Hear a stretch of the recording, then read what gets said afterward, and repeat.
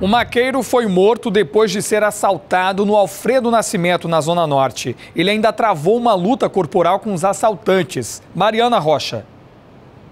Exatamente, esse latrocínio vitimou mais um cidadão de bem aqui na nossa cidade. O homem, identificado como Teures Braga, de 32 anos de idade, foi abordado por dois indivíduos em uma motocicleta lá no bairro Alfredo Nascimento, que fica na zona norte da capital.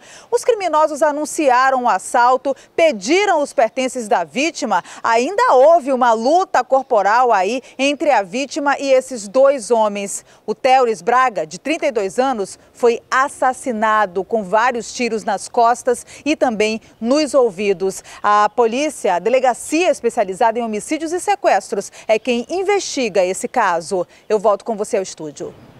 Obrigado, Mariana. E um homem foi preso hoje pela polícia no bairro Alvorada, na zona oeste de Manaus. Ele é suspeito de usar e falsificar documentos públicos para praticar fraudes.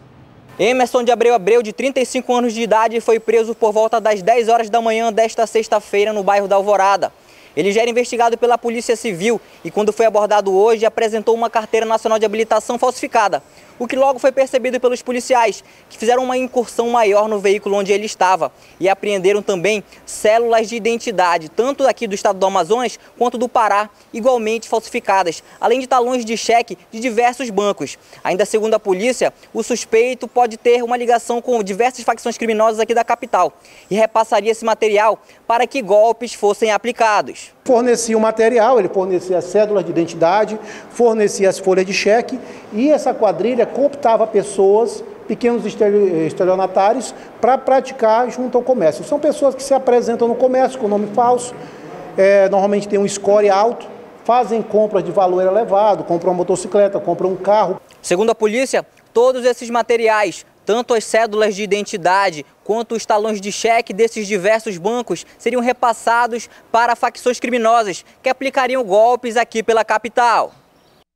Outras ocorrências policiais você vê agora no nosso Giro de Notícias. Hudson Ribamar da Silva, de 30 anos, foi transferido para o Centro de Detenção Provisória Masculino. Ele é suspeito de ter deixado um artefato explosivo no estacionamento do hospital 28 de agosto, na última segunda-feira. Em depoimento, ele disse ter encontrado o artefato semelhante a uma granada num terreno baldio ao lado do pronto-socorro. Hudson responde a um processo criminal por furto e foi indiciado pelo porte de artefato explosivo e será encaminhado à audiência de custódia o jovem de 19 anos preso nesta madrugada no Beco Aratu, bairro Mauazinho, na Zona Leste. Ele estava com 14 trouxinhas de maconha e 47 pedras de entorpecente semelhante a oxi. Com o jovem foi apreendido ainda dinheiro e um celular.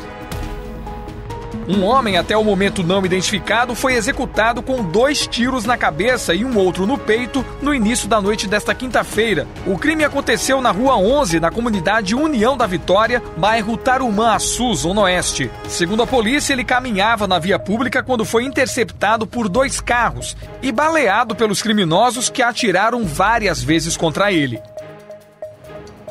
O desembargador aposentado do Tribunal de Justiça do Amazonas, Rafael Romano, prestou depoimento hoje pela manhã no processo em que é acusado de estuprar a própria neta. O repórter Luiz Rodrigues tem outras informações. Exatamente. O desembargador aposentado Rafael Romano, de 72 anos, acusado de estuprar a própria neta, foi ouvido no Fórum Enoque Reis na manhã desta sexta-feira.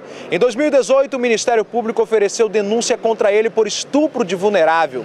Ele é suspeito de abusar sexualmente da neta desde 7 anos de idade. Atualmente, a vítima está com 16 anos. O caso ganhou repercussão depois que a mãe da jovem denunciou o caso ao Ministério Público. Na época, ela soube da situação pela própria filha. Em fevereiro de 2018, ela visitava uma amiga em um hospital quando a filha resolveu aí falar sobre o caso. Eu volto com você ao estúdio. Muito obrigado, Luiz, pelas informações. Agora vamos com informações ao vivo. A polícia está investigando um homicídio que aconteceu no bairro Educandos. Segundo as primeiras informações, os bandidos mataram o pai de um rival. Valdir Adriano está no SPA da Zona Sul, para onde as vítimas foram levadas e traz os detalhes para a gente agora. Boa noite, Valdir.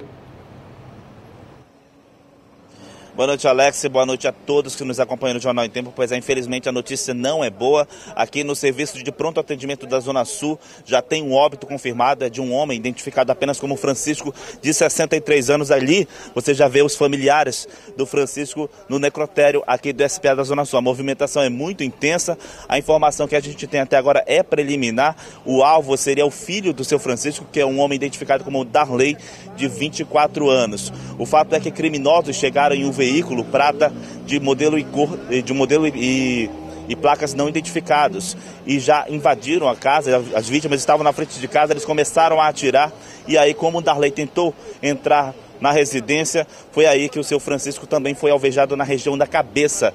As vítimas chegaram a ser trazidas aqui para o SPA da Zona Sul, uma delas já em óbito e já a segunda ainda passa por cirurgia e deve ser transferida para uma outra unidade hospitalar aqui da cidade que ainda não foi informada. Mas a informação que nós já temos já confirmadas é que esse homem de 63, 63 anos morreu durante esse ataque desse bonde lá na rua Inácio Guimarães, no bairro Educandos, na Zona Sul de Manaus. Volto com você no estúdio.